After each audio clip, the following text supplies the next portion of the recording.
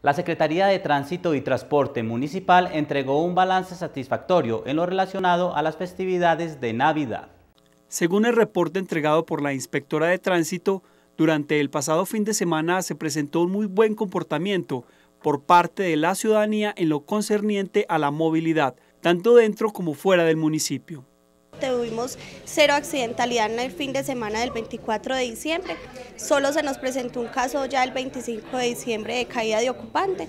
Lesiones menores. Por la información que recibimos del Magdalena Medio, Sonsoneño, pues hablando de los corregimientos Jerusalén, San Miguel y La Danta, el balance fue positivo, cero accidentes. Pues igual la presencia de los agentes de tránsito dentro del municipio es 24 horas al día pero siento de alguna forma que los conductores y peatones y demás actores de la vía han tomado conciencia de la importancia de tener eh, un buen comportamiento en la vía. El presencié el día 24 de diciembre una disminución en el flujo de vehículos automotores, situación que es importante para este organismo de tránsito y para la comunidad en general.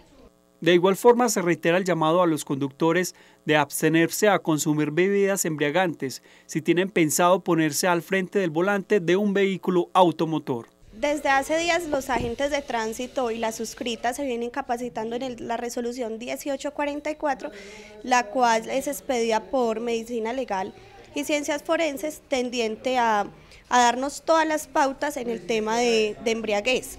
Entonces los agentes de tránsito se vienen certificando. La administración municipal acaba de adquirir un nuevo equipo. Entonces la idea es no que no se nos presenten eh, casos de embriaguez dentro del municipio. Yo pienso que ya la comunidad está muy concientizada de las multas y sanciones tan altas que se pueden tener para estos casos. Entonces el llamado es ese, dejar el vehículo automotor en la casa en el caso de que queramos tomarnos algunos tragos de licor. Con el fin de evitar posibles accidentes, desde la administración municipal fue expedido un decreto que restringe la circulación de motocicletas durante este fin de semana.